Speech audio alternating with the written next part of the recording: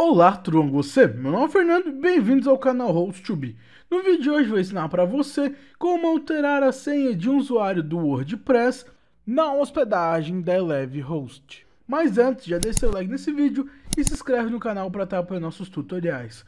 Então, para alterar a senha de um usuário do WordPress, a primeira coisa que a gente precisa fazer é estar acessando o PHP MyAdmin da nossa hospedagem. Caso você não saiba como fazer isso, basta estar assistindo o tutorial aí na descrição. E já dentro do PHP o que a gente vai fazer é acessar o banco de dados do nosso WordPress.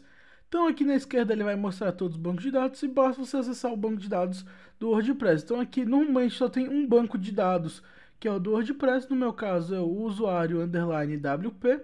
Então eu vou acessar esse banco de dados e aqui ele vai mostrar todas as tabelas do WordPress.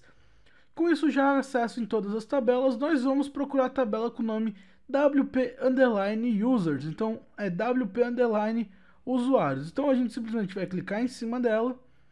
E agora ele vai abrir a tabela mostrando todos os usuários criados no WordPress.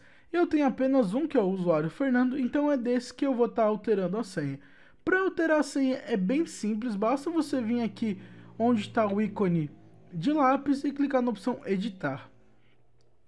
Isso vai abrir várias informações e nós vamos na informação no campo onde está user underline pass. E aqui vai mostrar um monte de letras, símbolo aleatório, que é a senha criptografada. Então o que a gente vai fazer? Simplesmente apagar tudo isso e digitar o nome da senha que a gente deseja. Eu vou estar colocando a senha como, por exemplo, ADM 2019, arroba, duas vezes, então ADM 2019, arroba, e eu posso fazer isso, a senha agora já foi colocada, porém a gente vai ter que criptografar ela, porque se botar a senha apenas como assim, ele não vai acessar porque a senha não está criptografada. Então, para a gente criptografar, vai, vai vir na coluna onde está a função, clicar aqui na barrinha branca e escolher a opção onde está escrito MD5, que é a opção de criptografia que vai criptografar a senha que a gente colocou. Por fim, basta clicar em executar. Após fazer isso, tem a opção de User Pass e ele também vai alterar a sua senha para um monte desse número louco que quer dizer que está criptografado. Então agora a sua senha já foi alterada para que você colocou e você pode acessar ele.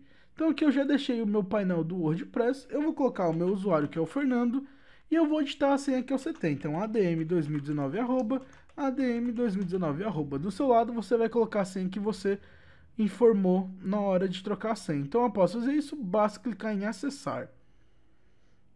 E prontinho, agora o WordPress já acessou com a senha que eu troquei pelo meu PHP MyAdmin.